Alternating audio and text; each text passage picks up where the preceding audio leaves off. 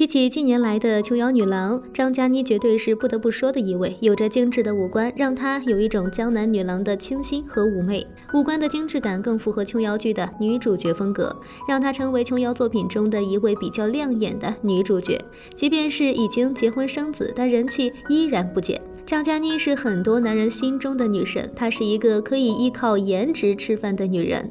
虽然至今名气不是特别的大，但是靠着自己多年在娱乐圈的打拼和自己出众的颜值，还是收获了一大波粉丝关注的。张嘉倪有过一段独立的成长史，正是这段难忘的经历，培养了她坚强、独立又富有个性的性格，这也直接影响了她生活的各个方面，也包括她的爱情。张嘉倪一九八七年出生在四川成都的一个普通家庭，爸爸是厨师，妈妈从事服装方面的工作，家庭条件既不富贵，但但是也不贫困。小时候，张嘉倪就特别喜欢跳舞，父母看到她有这方面天赋后，也是尽自己最大努力的培养她。所以从七岁开始，她就学习舞蹈，九岁的时候就一个人去北京接受专业训练。其实兴趣是最好的老师，再加上父母的支持，所以张嘉倪的舞蹈跳得很出色。到了北京之后，小小年纪的她没有父母的陪伴，这对于一个九岁的小女孩来说是一种考验。不知道有多少个夜晚自己。躲在被窝里偷偷的痛哭。然而很快，他发现一种怪象：如果自己出色得到老师奖励，就会被周围同学排挤。比如自己被邀请拍广告，回来后同学都会冷落他、孤立他，哪怕自己刻意示好，也不被同学理睬。独立的生活环境让他从小明白了一个道理：不必去讨好不喜欢你的人。此后，他就不敛锋芒，面对机会他会主动出击。十四岁的时候，别的小朋友正是玩的时候，而张嘉倪就开始参加中戏的考。考试了，虽然一窍不通，只准备了一首诗，但是这让他摸清了考试环节和内容。十六岁的时候，成功考上北京电影学院。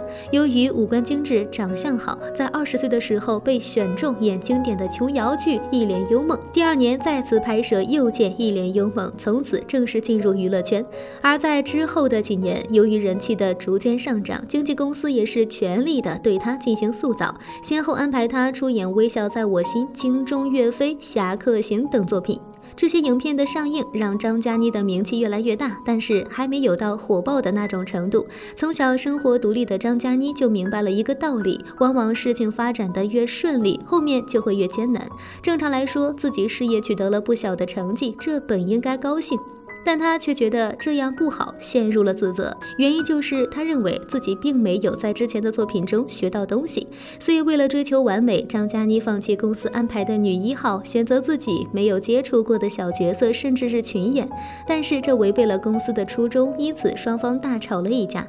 任性的张嘉倪一气之下与公司解了约。解约后的张嘉倪事业上陷入了低谷期，本就名气不是很大的她，经过几年的蛰伏，让她逐渐淡出了。观众的视野，正在她情绪低落的时候，被闺蜜叫出去散心。闺蜜叫来两个异性朋友一起玩，张嘉倪以为是闺蜜心仪的男生，自己还想着帮忙把把关，于是一点都没有拘束，反而两人聊得很尽兴。从那次之后，这个男生再也没从张嘉倪的生活里消失过，他就是买超。从此便对他展开猛烈的追求。买超是个圈外人，但是他却是一个富二代。据说和王思聪、王校长还是好朋友。在买超的强势追求下，张嘉倪接受了买超的告白。二零一四年，买超还在张嘉倪二十七岁的生日聚会上求婚，这让张嘉倪感动不已，一口就答应下来。